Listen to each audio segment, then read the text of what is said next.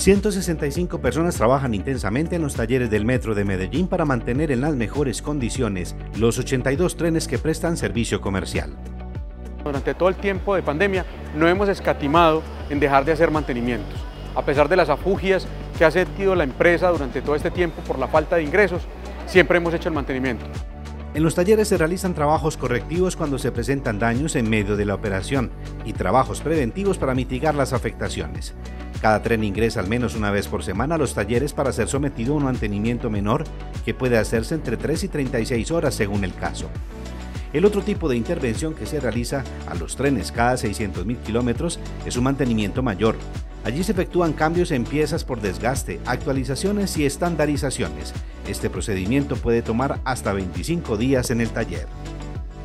No somos un sistema infalible, nos pueden ocurrir fallas, nos pueden ocurrir elementos reales, fallas reales por nuestro sistema o fallas exógenas que pueden afectar nuestra operación. En el metro, cada tren puede recorrer un promedio de 400 kilómetros diarios cuando opera durante 18 horas. Esa cantidad de kilómetros equivale a la distancia que hay entre Medellín y Montería.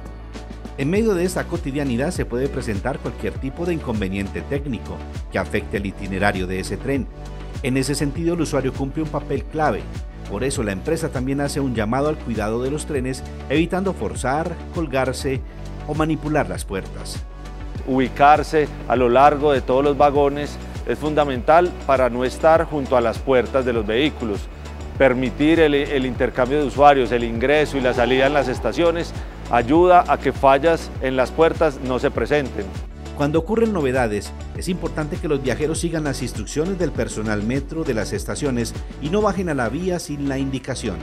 Esto con el fin de facilitar y reducir los tiempos de atención de los inconvenientes técnicos. Oh, oh, oh.